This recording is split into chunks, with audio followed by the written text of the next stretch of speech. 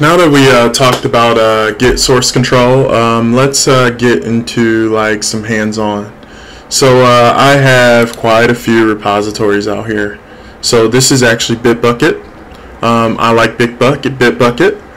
Um, so right here, these are all my repositories, and this is not including the repositories that are uh, that are in my other uh, platforms. Uh, and I even have some standalone repositories that I have on my computer, which is a bad practice because uh, if I don't have though that code uh, with some redundancy or something, um, then uh, I can lose it. Okay. So let's uh, talk about. Uh, so this is the latest one I did. I did some edits for it for malware analysis, um, and this is what I meant. when you commit code, you actually get a timestamp you get the size of the file you can put folders in here uh, and as I mentioned in the uh, previous um, in the previous video you have branches here. So I start development out in the development branch and then I promote it to the master branch and then do the release branch. Uh, so yesterday I actually put some code in here. Um, let's see if I can find it or it could be to my dev branch but anyways. But I'll put some code in here to uh, add some changes to the assembly that's put out here. Um, this is one of my assembly repositories. Uh, so like right here I have my make file and this is where um, a lot of my code is. So if you go and look into uh, let's go to uh, add ASM and if you notice, uh, I can go here and see the full commit. And it's going to show me all of the commits of each file that I did as a package. And you can see where I changed things. You can see all types of things. Uh, you can see the history. You can comment out here. Why did you do that, Ashton? Um, you can actually see whose fault it was. We call it blame. You can um, you can do a diff side by side, uh, which I don't I don't think I have another file uh, maybe this one right here. Do a diff side by side. And you can see where the changes were. Um, you can see a lot in here. Okay? So let's go to uh, let's start out with our C programming that we had. Um, so let's go and uh, let's go and find our um, let's go to our streaming projects. Oops. Let's clear that out Let's go to the streaming projects. And uh, let's go to C programming. And what I'm gonna do is see how we have our source control right here? Our you know our source here? And we never put it in source control did we? So let's uh, see if we can get it in source control today. So what I want to do is I'm gonna copy because I have some permissions I don't want to really set right now just to make this easy so what I'm going to do is I'm going to go to my home directory and I'm going to create a file. I'll just make make dir, create a directory. And uh, that directory, let's go to, um, let's call it stream. Let's cd into stream and we got a clear slate. Okay. So now let's do a uh, copy of our um, streaming. So what I'm to do is go back and take that streaming project.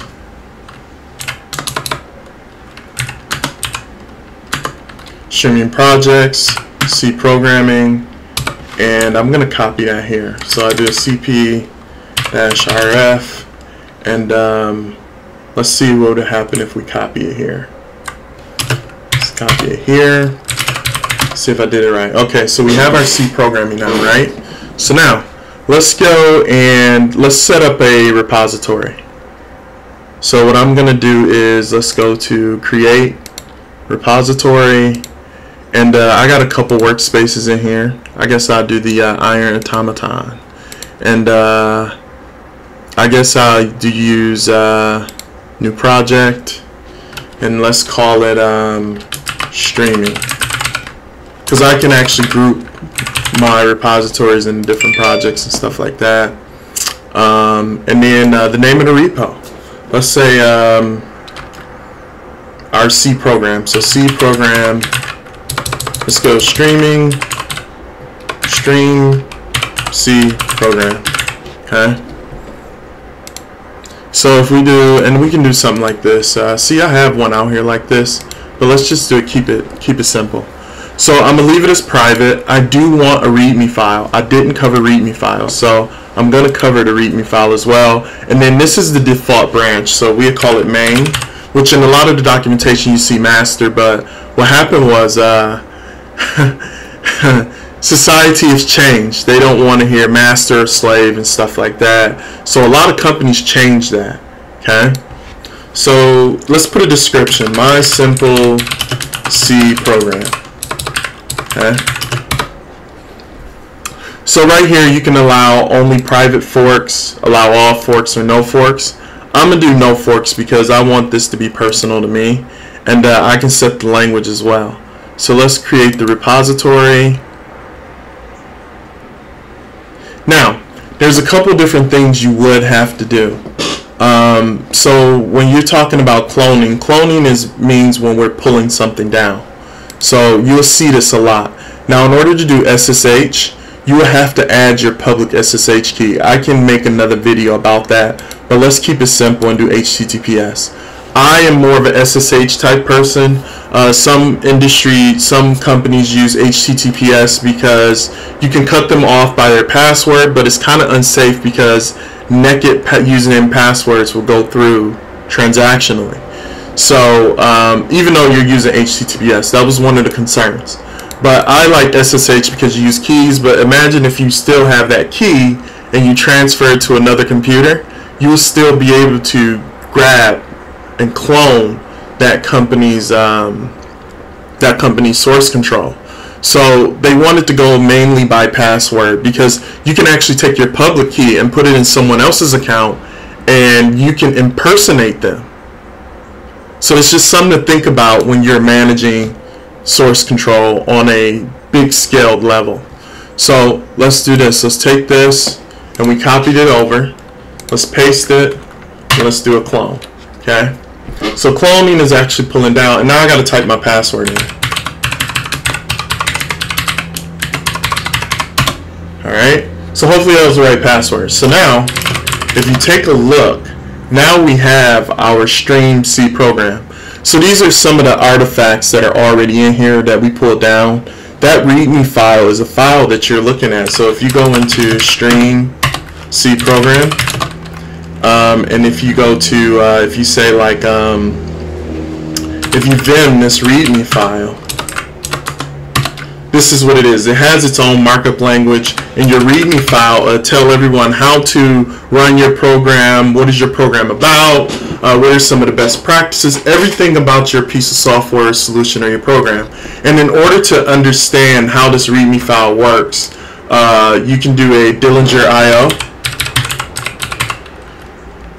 Ah, there it is right there. So Dillinger IO is a way that you can actually uh, copy and paste your README in here. And this was a README that looked like they cached it that I made for the malware analysis. And uh, this is how you make everything look pretty. Okay, so it has its own language and everything. Okay, so this is just something to look into. It's called Dillinger IO. Okay, so let's get back to what we really want to do. Okay, so if you notice you have an ignore file in here, and we get to that. Uh, actually, I'll tell you right now. So the ignore file is what files to ignore when you're trying to commit files to your repo. So I ignore binaries, I ignore configurations, such as um, deployment configuration, not necessarily deployment configurations, but username and password configurations, uh, connection strings, stuff like that, because that should come from your config database, CMDB. Okay. Um, but in some cases, it's it's a security hazard if you put production uh, artifacts that are like password sensitive, any sensitive production artifacts into your repo. Um, it can cause it where everyone can sign into your re- into your um, infrastructure or whatever it goes to. Also, what I did like about Bitbucket, and I think GitHub does this as well, is if they see that you put passwords in your repo and it goes to production, and I think they try to resolve the URL of the string, they will let you know. And you would have to uh, go in and uh, change it. And remember, the history is back there too, so you need to change your password right away. Okay? And there's ways where you can erase the history, but erasing the history here doesn't mean you erase the history on their system. So if you get if they get hacked, you're done for. Okay? So now, let's uh, go back and see what all we have. And uh, so let's do a CD. Let's go backwards and then let's go to um, our C programming okay so now one thing you can do it does give you instructions when you first make a repo it does give you instructions if it's empty it'll tell you how to do your init uh, do the init to initialize it and stuff like that but we're going to keep it simple to where we have something to get going this is what I usually do okay so the only files that are important in here is the make file and the driver.cc file. Okay, the driver LST file is an artifact that comes out of build file. A.out is an artifact. Um, we only want what will we need to build and run this program. Okay, so what we're going to do is we're going to do a copy. We're going to copy the make file, the driver.cc, and we're going to copy it to our um, stream C program. Okay. So I'm going to go backwards and CD to the stream C program. Alright, so let's do it clear. Let's do it LSLRT. Now what you notice is you don't see the dot ignore file, right? Because anything that's dot is a hidden file. So in Linux, you do LSLRT and add A at the end. And so if you notice, this Git folder right here is very important. Don't delete it. Otherwise, Git will not know. Um, Git will not know a few things like your commit history, all of your metadata about your Git repo, where is it supposed to go, connection string, all of that stuff. Also, um, you got the git ignore out here, which I told you about that. So now let's talk about adding to our source control. So you have a repo that's locally, and then you have a repo that is, we would say, in the cloud. Okay. So first what we do is, and then remember, you can go back and forth on your repo locally just in case you're not sure if something is right. You can see that history. Okay. So if you go over to uh, and then let's say add, and we say the files we want to add. So if we want to add all of the files, which in this case we do, we can do a dash dash all, but be very careful if you don't know what files you're going to add. Okay? So what I would do is, just to, for teaching purposes, let's do a make file and do the driver.cc. Remember, and we add all files that we made changes to. Okay? So in that git all will find the files that you have made changes to as well. So if we do a git add, and now when we added it, we can do a git and we can do a commit and then be dash m and then our message um, first commit okay? And then what we can do is do a git push. And let's put my username password in. Alright so now let's go and take a look let's refresh this and we pushed it to the main branch because by us cloning we cloned it by default okay so now we have our make file, okay? So look at that. We have our make file, we have our driver CC, everything went up to that git repo. So now there's another thing that we can do too. We can go in here and we can actually make branches if we want to. Uh, we can tell it to do a new branch. Uh, if you go over to here, it says about the branches and everything. So we can say create new branch, create branch dev. So what we can do is we can tell it what type of branch it'll be okay? And in this case it might be other okay? And we want where do we want this branch? What do we want to clone from this branch? Where do we want to copy it from? So we want dev to be a replica of main okay? I mean yeah replica of main. So we'll call it dev okay so this is the branch that we're going to do our development in first okay so we make our change and then over here we do a git pull. This will update all of our local branches. Okay, from upstream. You see how we have the git uh, git um, dev. We have the dev now. So in order to switch over to dev, let's do a git branch and we can say dev. Okay? So now if we do git branch, it tells us what branch we're in. Actually, let's do a git checkout. Git checkout. Dev. Okay? Oops. Not a git, but a so now, if you notice, we did a switch now, okay? So if we do lslrt, we switched our branch, okay? So now, say that we want to add something into our driver. So let's go over to the driver, that's CC, and uh, what we can do is, let's say we want to add an explanation point, and we're in our dev branch, so I'm a developer right now, okay? And then uh, what I can do is, let's do a git, and then we do an add, and let's do it all this time. Okay, and let's do a git commit dash m added uh, more um, words. Let's just say words. And then let's do a git push. And so look at this. So see how we got the upstream right here? So what we can do is we want to connect this to dev in the upstream, right? So we paste this and we yo,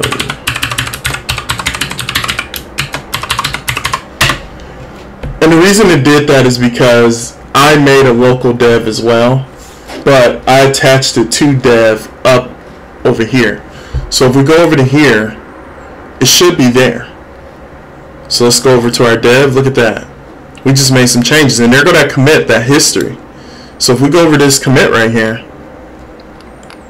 look at this. There go our change and look at this. It did something weird with the readme file. Okay, Looked like it did an add and remove. I don't know why it did that when we never did touch the readme file. Now, let's talk about if we want this change to go over to our main branch. Let's say everything is good, everything tested, we want it to go into our main branch. So what we'll do is let's go over to branches. Actually, let's go to uh, pull request. Okay. So what I'm going to do is make a create a pull request. And in this pull request, what I'm going to do is let's let's push that over. I want dev changes to go into main, and that's what I'm going to do. So we can keep that. Uh, we can make some comments made uh, word changes and then I can actually set a reviewer in here so these are all the people that I have as a reviewer um, let's uh, cancel that and uh, I'm just gonna leave it like that. I can I will be the reviewer okay? So I can say uh, delete dev after pull request. Never do that. Not for dev. And you can actually make it where this branch is immutable where only feature branches can be deleted. Main and dev cannot be deleted. So if you go and create the pull request, so what's going to happen is it's going to wait for my approval. So see how I got an approval and I can approve it. We approved it saying that you can do it. Now merge it. So what we're going to do is merge dev into main. Okay? So now, if we go over to here, let's do it clear, and then if we say git pull, it's going to update all of our branches. So,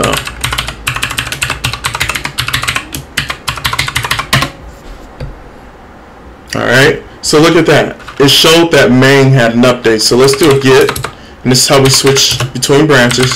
Check out main. Okay? And so now let's do this. It says it's behind, but let's do another git pull. That means that my local copy is still behind. Okay, there you go. So see how I switched branches and it didn't update?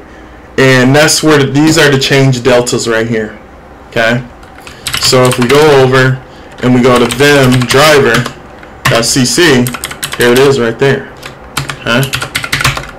and uh, we can do the make and then make everything we have and there we go so that's source control in a nutshell and say that we had a there was some particular um, bug in here, okay? We can actually pinpoint where that bug is or if someone needs to change anything in here, okay? And then watch this. If I go here, I can see what commits I did. This was that first commit I did and this is that second commit I did. Okay, so if I go back in time, I can actually pull that commit. And see how we got this commit number right here? So I can actually pull based off this commit number by checking this branch out, which would be an advanced subject, and that's something that I'm going to cover. I'll cover that uh, in another uh, video. Um, so this is source control. This is how we do it. There's some hands-on in Linux.